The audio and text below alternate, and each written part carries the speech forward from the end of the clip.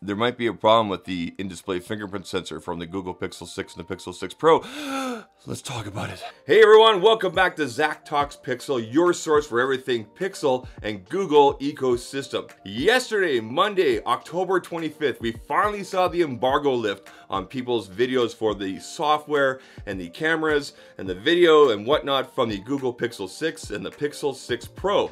And with that, we saw some people pointing out some limitations or issues that may, they may be having with these devices. Now, keep in mind that the street date, the final release date of these devices is October 28th. That's this coming Thursday.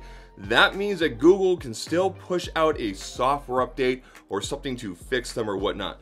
But what the issue is, is basically the under display or optical fingerprint sensor unlocking the device. That's the only way you can unlock it unless you want to use a pin or something like that. It's a little bit slow. There is no face ID or uh, anything like Soli like uh, Google's used before. So a lot of people are using the fingerprint sensor there to unlock. But don't just take my word for it. I reached out to a few of my creator friends and here are their experiences from their videos using the in-display or the optical fingerprint sensor on the Pixel 6 or the Pixel 6 Pro. First up, we got one of the OGs on tech YouTube, Mr. Jeff Springer. Let's see what he has to say. The fingerprint sensor on this thing is not not great. And if you actually look how long it takes for it to open, it's quite slow by comparing this fingerprint sensor to the S21 Ultra.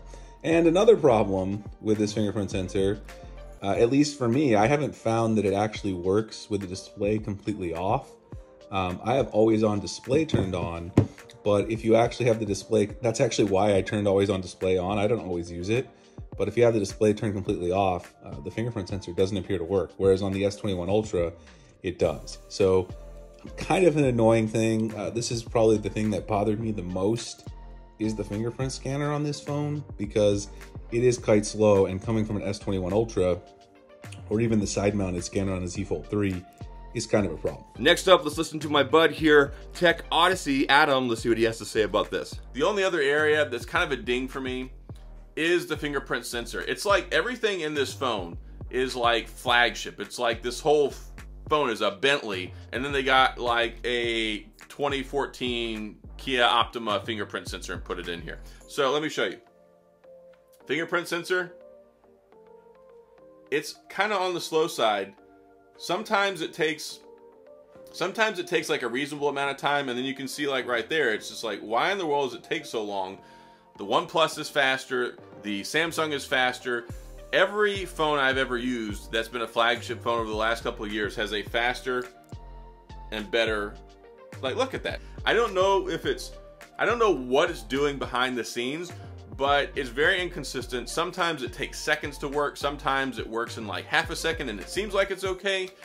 I don't know. I'm hoping that will get better with software enhancements moving forward. But on launch, I got to give it a ding there. And it doesn't have facial recognition. I don't understand that. I really don't. They ditched the physical fingerprint sensor. They put the one under the screen.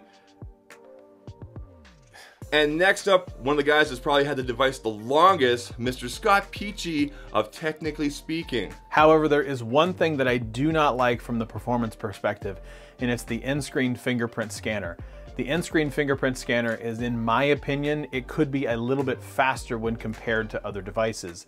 I think software updates will make it faster and it's not necessarily a deal breaker, but it's just something that I notice. It's just a little bit slower in comparison to others. If I had to give this phone a knock, it would be on the in-screen fingerprint scanner because I don't like really any of them to be honest, regardless of phone manufacturer. And last year we got Digital Slang. I was on his show last night, a live stream that he does over there once in a while, and we were talking a little bit about it and you know, here's the results. Let me ask you this, because I need to get some clarification here. I'm sure I can look it up. I'm going to ask you anyway, because I'm sure you got a reviewer guide.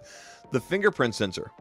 People are saying it's a little slower than what they're used to from, say, coming from like a Samsung. True or false? Well, in your experience, it's true. Is it an optical or is yes, it a? It's an optical. It is an optical. Yes. But as an optical, it should be faster than. What's the other one? Ultrasonic. Ultrasonic. That's a, that's a Samsung thing. Yeah. Yeah. Whenever I use the fingerprint sensor and I just use one imprint, right? You know how you can yeah. multiple fingerprints on there?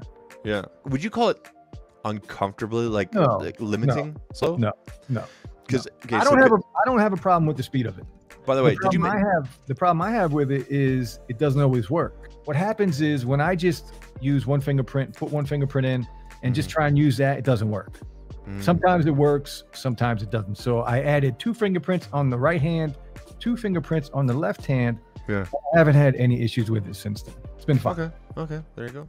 And I don't have any problem with the speed of it. It's it might be slower. Hopefully, it's not a hardware limitation. It, if it's a software thing, I mean, it'll be a quick fix, right? So, I don't even think it needs to be. I think it's Yeah. fine. you think it's fine? Yeah. I think it's fine. Now, do I think this is a big issue? No, I don't. As you can see, and as you can hear from uh, all the gentlemen here, this is not a huge deal. Uh, most likely something for people like in, us in the tech niche, tech reviewers, tech enthusiasts will probably notice this. And as I said before, the software is not final until the 28th. Hopefully it's not a hardware limitation, but I can't see Google using old hardware, old optical software. Keep in mind that the fingerprint sensor that is inside the Pixel 6 and the Pixel 6 Pro is an optical sensor. It is not the same kind of technology that Samsung uses. Samsung uses a technology called ultrasonic that basically sends waves to read your fingerprint. Now we know with that kind of technology, at first it was very slow. It's actually very quick nowadays. I actually have it on the S21 Plus and I absolutely love it. It is quick, it is snappy. Normally optical, which is what the Pixel 6 and the Pixel 6 Pro have, are very, very fast. So I think Google will probably push out a software update with this, make it faster, make it snappier. I really can't see them using old hardware technology in their flagship devices. If you found this helpful, hit that like button. Think about hitting that subscribe button as well. And I'll catch you guys in the next one. Take care. Cheers. All right, cool. All right, that was a good one. All right.